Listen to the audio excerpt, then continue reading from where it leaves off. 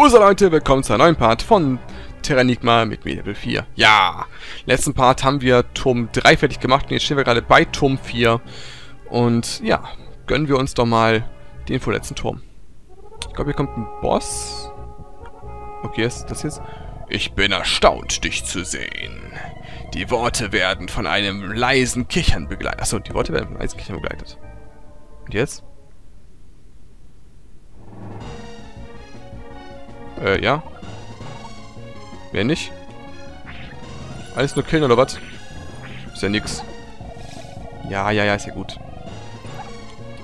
Lass mich doch bitte Ruhe. So, nein, komm ich her. Fein. Das war jetzt so schwer. Okay. Das ist super. Jetzt muss man ja ein bisschen aufpassen. Man muss nämlich schon gut stehen und zum Balancieren. Ich glaube, wenn man stehen bleibt, kann man runterfallen. Man muss aufpassen, wenn man nach unten drückt zum Beispiel. Da gibt es ab und zu mal doch mal ein paar böse Stellen, die man machen muss.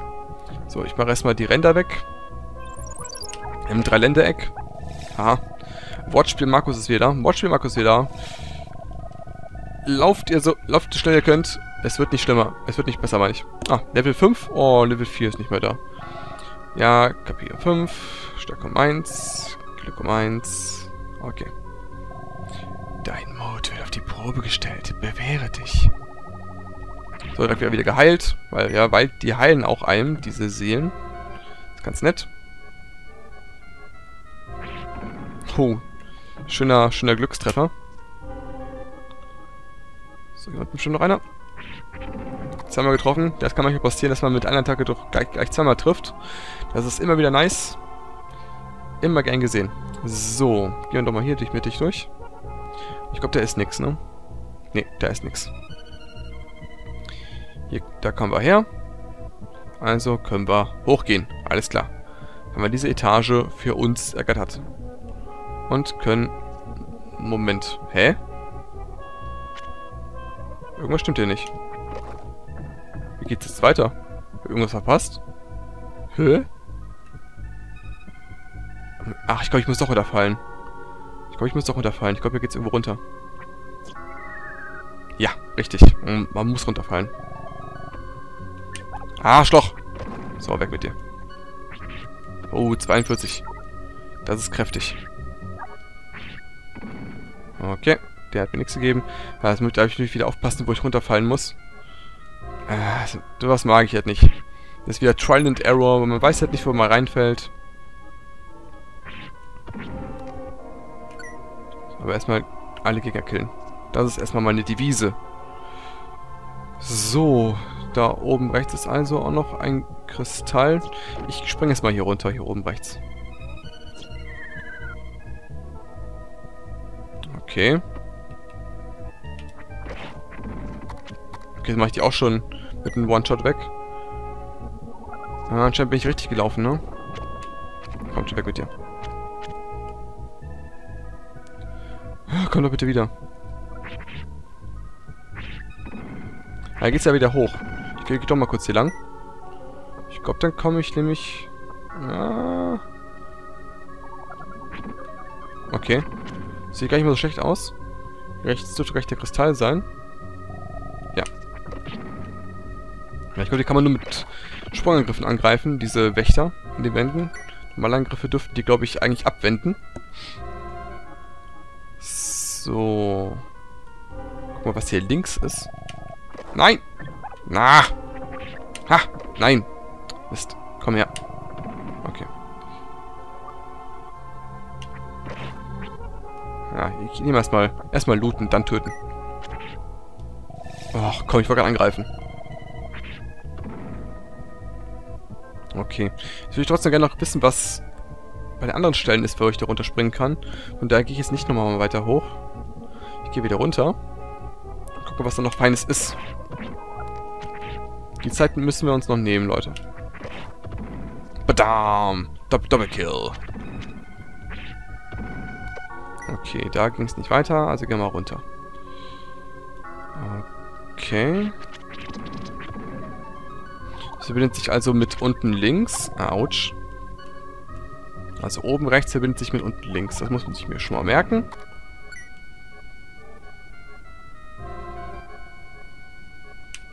Und mit oben rechts. Also ich muss unten... Äh... Quatsch, oben links meine ich. Ähm, also muss ich mal unten rechts springen. Das ist wahrscheinlich was Besonderes. Jetzt gehe ich jetzt wieder hoch. Und versuche gleich mal unten rechts zu springen. Und ändert das nichts. Dann müsste ich da rechts rauskommen. Was... Nichts ändert? Was? Nö, anscheinend tatsächlich nicht. Oder was? Ich muss doch doch... Wie komme ich denn da rechts? Ja doch, ich muss... Ich muss oben rechts runterspringen. Nur so komme ich richtig raus.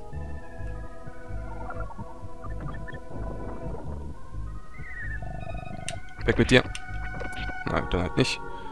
Okay. Dann runter hier.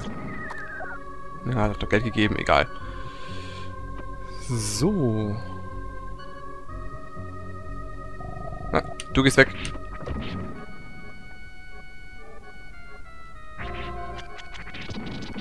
Scheinbar bin ich jetzt hier doch richtig. Jetzt weiß ich gar nicht, was jetzt gewesen wäre, wenn ich links gelaufen wäre nach oben, ne? Ach Gott. Ist mir jetzt auch tatsächlich auch egal. Diesmal ist es... Das sind nervige Gegner. Das sind super nervige Gegner. Weg mit dir. So. Weg mit dem Dreck. Okay. Soll ich jetzt da mal runterspringen? Ja, äh, komm, machen wir es einfach mal. Komme ich denn jetzt raus? Jetzt bin ich wirklich komplett verwirrt. Jetzt weiß ich gar nichts mehr. Bin ich nicht in, äh, im Anfangsbereich? Ja, ich bin im Anfangsbereich. Super, hätte ich mir also vollkommen sparen können.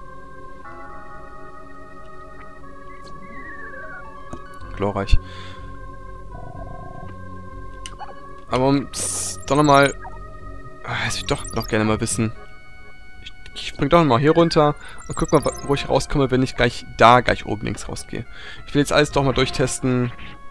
Sorry, das kann jetzt doch noch unnötig lange dauern, aber ich will's wissen. Na, nehme ich doch noch mit. Den habe ich jetzt nicht mehr, hab keinen Bock mehr. Alle Gegner, die ich noch erreichen kann, nehme ich mit. So, wo komme ich jetzt hier raus, wenn ich hier oben lang gehe? Das ist jetzt die 1 Million Dollar Frage.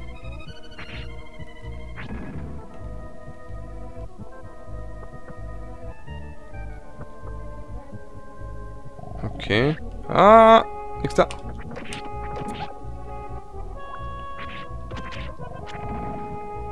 Ah, ich will die gerade killen. Ah, Level up, Level 6. Stärke um 7. Abwehr um 1, das war's, oder? Nee, Glück um 1. Okay.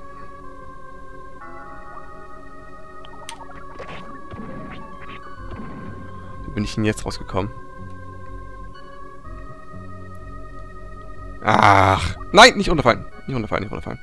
Ich gehe nochmal unten entlang. Ausnahmsweise mal. So. Richtig Time, weil ich glaube, so ist tief und so ist, ja, genau. Der ist das Spiel ein bisschen pingelig. Da muss man ein bisschen aufpassen.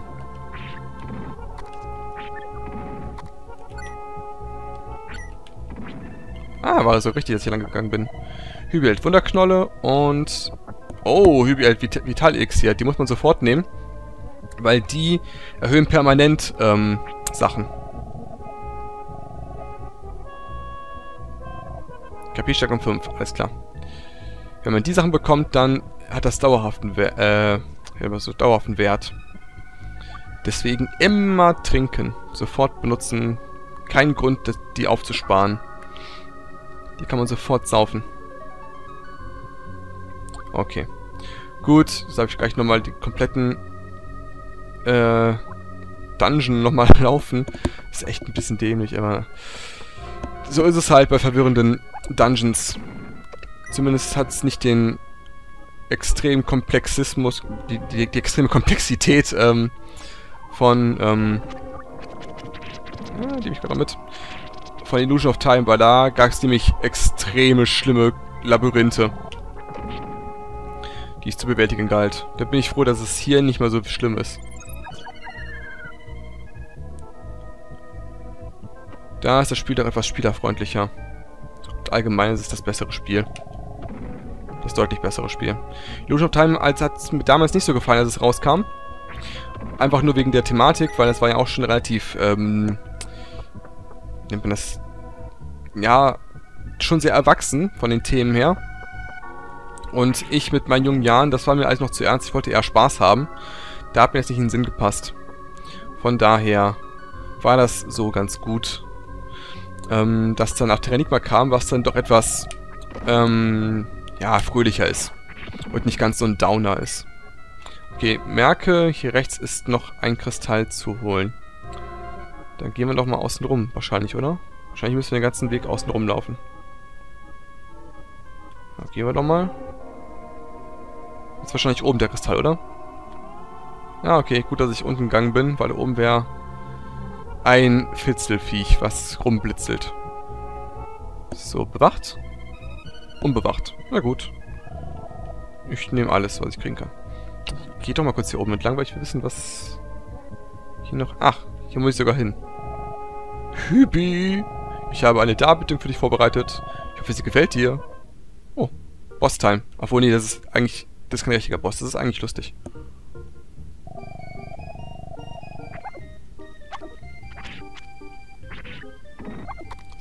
Das ist nicht wirklich schwer. Da kann man nicht wirklich falsch machen. Man muss natürlich immer die Goldenen rausholen, die dann weghauen. Das wird natürlich immer schneller, äh, schneller meine ich. Ach komm schon jetzt her.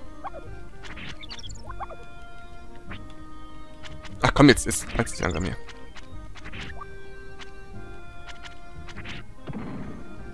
Na, jetzt reicht's. Na, Junge. Alter! Wie was für eine Verarsche von dem. So.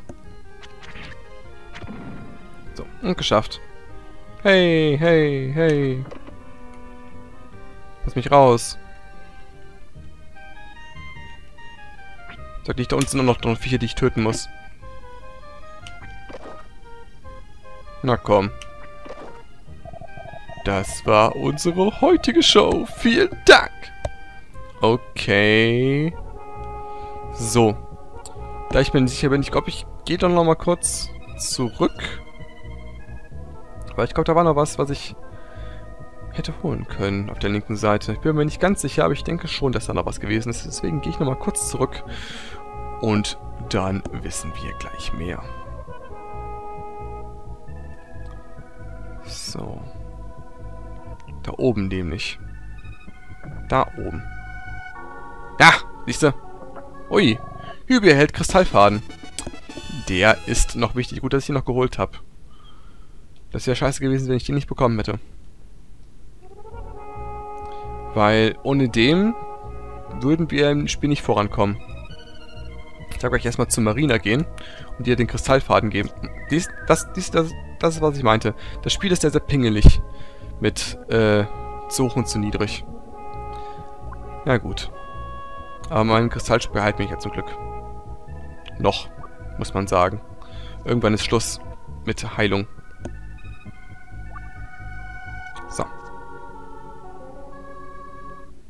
Wieder tolle Musik. Die hier leider nur auf Handbremse gut ist. Ja, ja, ja. Aber in der Zeit trinke ich doch mal kurz einen Schluck. So.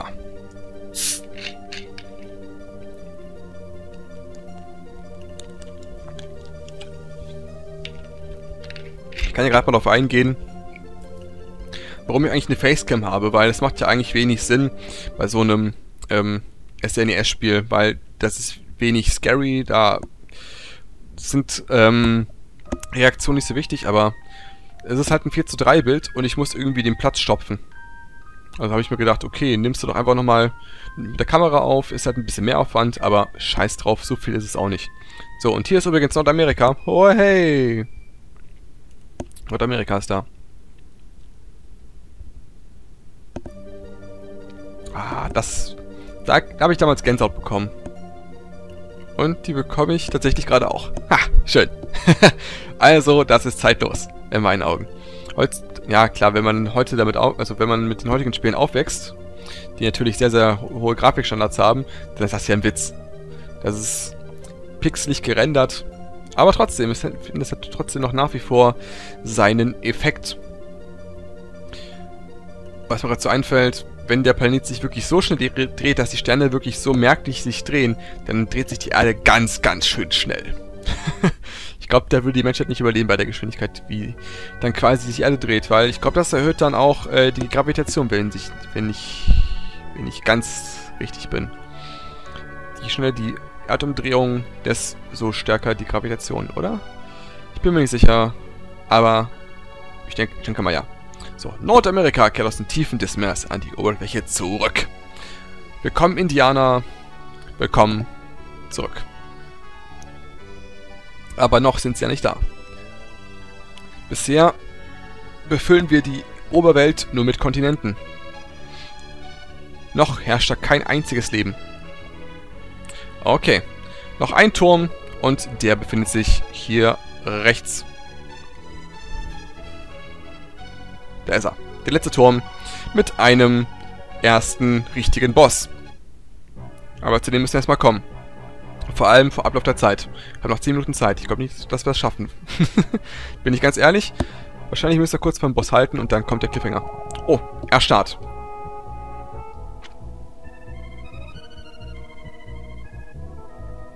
Zack, und sofort rausgeschmissen. Das heißt, ich kann hier noch nicht rein. Dann müssen wir jetzt nochmal zuerst nach Hause gehen und Merina den Faden geben. Das ist nämlich das, was ich meinte. Den habe ich tatsächlich eben nochmal vergessen, wo ich eben noch genannt hatte. Oh, hier kann ich übrigens reingehen. Das bringt mir aber noch nichts, glaube ich, wenn ich hier reingehe. Ich gehe mal kurz hinten durch. Ja, lass mich kurz... Alter! Das sind nämlich so kleine Zwischenlevel, da kann man noch kleine Nebenkontinente mit eröffnen. Nur, ich glaube, das geht erst, wenn man den fünften Turm auch fertig macht. Wenn ich mir nicht... Wenn ich mich nicht ganz irre. Ich mach die gerade mal alle weg. Weil die stören mich doch gerade irgendwie. Na? Kommen Sie raus? Ich sehe dich nicht. Jetzt komm! Ah, da oben kommt er raus, alles klar. So, der Typ kommt, ist immer noch da. Da platzt er. Okay, ich jetzt natürlich alle so töten? Ah, da konnte ich nicht mehr ausweichen. Da konnte ich nicht mehr ausweichen. Das ging nicht mehr. So, und? Jetzt ist nicht die richtige Zeit. Komm wieder, wenn alle fünf Kontinente befreit sind. Das meinte ich. Ähm, da darf ich nochmal zurückkehren. Warum das so gemacht ist, weiß ich auch nicht, weil im Grunde gibt es keinen speziellen Grund, warum das so ist. Man könnte die aber eigentlich jetzt auch schon äh, betreten und eigentlich öffnen, die Tore, um halt Nebencontainer zu öffnen, wie, glaube ich, Mu. Das ist quasi ähm, eine Art Atlantis, ein, wie, äh, ein versunkter Kontinent. In der Legende natürlich. Aber naja, gut. So, dann gehen wir mal zu Marina und überbringen ihr mal den Kristallspeer. Gehen wir mal mit ihr? Ich fühle mich irgendwie seltsam. Ja gut, haben wir schon gemacht. Okay. Hallo Marina. Dieser Faden, er ist wundervoll. Er ist, es ist ein Kristallfaden. Kann ich ihn haben? Ich werde ihn in diese Weste einweben. Ich bin sicher, dass sich dies kräftigen und stützen wird. Ich werde morgen früh damit fertig werden. Hübi, du siehst müde aus. Geh nach Hause und ruh dich aus. Das reimt sich sogar. Besuch mich dann morgen wieder. Kann ich nicht bei dir übernachten, Baby? Komm. okay. Das sah gerade ein bisschen pervers aus, war auch so gemeint. Okay. Gut, ab nach Hause, schlafen wir eine Runde. Kann ja auch nicht schaden. Okay. Gehen wir gerade mal zum Ältesten vorbei, mal gucken, was er noch zu sagen hat. Aber wahrscheinlich nicht viel.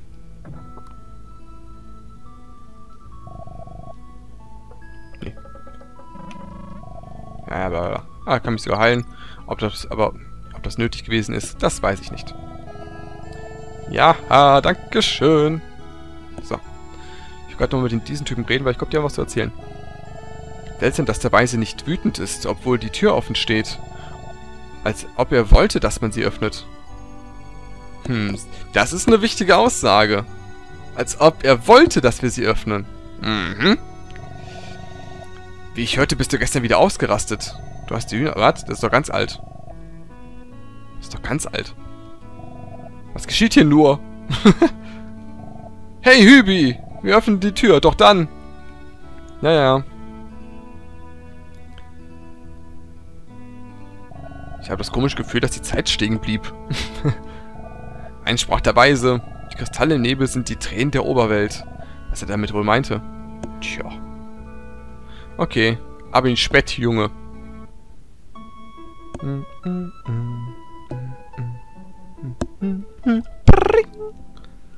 So. Ich glaube, jetzt kriegen wir sogar einen Albtraum, kann das sein? Ja. Oh ne, wir wachen einfach nur, wir einfach nur, haben einfach nur schlecht geschlafen. Na. Der Boden ist hart. Echt? Hätte ich nicht gedacht. Ah, was so. War das Bett auch schon vorher da? Ich bin mir nicht sicher. Okay. Mädchen ist weg. Ich glaube sogar, das heilt sogar wirklich Sachen, wenn man hier was isst. Der Weise? Ist da ein Pen? Was gibt es, Hübi? Okay, nix. Gut. Ja, wir dürfen jetzt zu Marina gehen. Die ist nämlich die ganze Nacht am, für uns am Beben. Das waren keine Gänsehautmomente, ich fand. So in der Nacht, dieser, diesen Vogelgeswitcher. Oder ist das eher, ist das eher, so nennt man das? Äh, Grillenzirpen. Grillenzirpen ist wohl, ja, ja. Und sie stickt und stickt und stickt.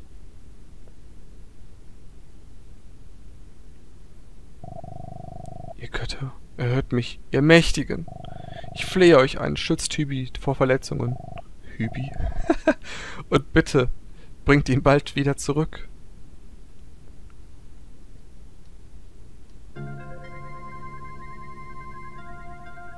diese Musik. Was ist los? Kannst du nicht schlafen? Deine Weste ist fast fertig. Morgen hast du sie. Hübi, ruh dich etwas aus. Ich hoffe, du wirst mich nicht verlassen. Wenn diese Weste fertig ist. Hübi, das wirst du doch nicht tun, oder? Tja. Tja. Ich mache immer keine falschen Versprechungen. Ich habe das Gefühl, dass unsere Welt nicht die einzige ist. Es muss da draußen mehr geben. Viel mehr.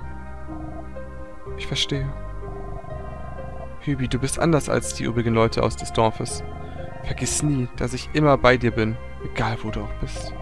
Vergiss das bitte nie. Du hast noch etwas Zeit. Ruhe dich aus, bevor du gehst. Komm morgen früh wieder. Ich werde dich erwarten. Du hast noch etwas Zeit. Doch ruhig.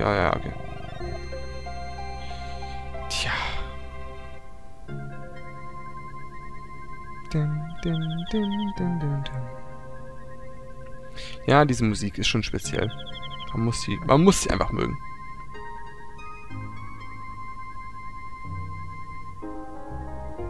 Gut, legen wir uns hin und holen uns einfach dann unsere, glaube ich, unsere Kristallweste ab. Ich bin mir nicht ganz sicher, ob es das eine Kristallweste ist oder nicht. Ich kann gerade mal sagen, dass ich dieses Spiel sehr oft durchgespielt habe. Das war für mich immer ein Evergreen. Immer, wenn ich mal Lust hatte, alle paar Jahre, nicht alle paar Jahre, aber mehrmals habe ich es durchgespielt. Und das sehr, sehr gerne, sehr, sehr, sehr, sehr, sehr, sehr gerne. Das ist wirklich ein tolles Spiel. Hallo Hübi, kannst du mir mal kochen helfen? Nein, ich gebe dir gar nichts mehr. Olle, olle Zippe. Ich möchte den Kristallnebel sehen, doch man sagte mir, dass mich dann der Blitz trifft. Okay. Kannst es gerne mal ausprobieren, Freundchen. Badauts! Okay. Jetzt kommt eine wichtige Stelle. Ah, die kommt, die kommt später. Na, Hübi, hast du gut geschlafen? Hier, nimm dies. Die Weste ist robust und widerstandsfähig. Beim Weben betete ich, dass dir nichts passiert. Sie wird dir gute Dienste leisten. Trage sie, wenn du in Gefahr bist. Hübi erhält die Titaniumweste. Sieht schäbig aus. Ich bin ganz ehrlich. Sei vorsichtig. Ich werde für dich beten. Sei vorsichtig. Ja, schneller. Ja, das ist auch eine wahre Freundin, die für einen stickt. Okay. Dann ziehen wir doch das gute Ding nochmal an. Ist auf den wichtigen Plätzen. Titaniumweste plus 3. Ja, natürlich nehme ich das. Ausgerüstet. So. Rosé. Und... Tja. Tatsächlich ist... Ist es wirklich Zeit, den Part zu beenden? Ich glaube, ja. Ich habe den vierten Turm gemacht, ne? Den kompletten vierten Turm. Und den fünften Turm konnte ich nicht wirklich groß machen. Na gut, dann sparen wir uns den kompletten fünften Turm für den nächsten Part auf. Aber ich gehe schon mal zumindest hinein. So. Ach, die, ach, dieser Soundtrack ist so toll. So toll. So. Hinein mit dir, Hübi. Das Schicksal der Welt steht auf deinen Schultern.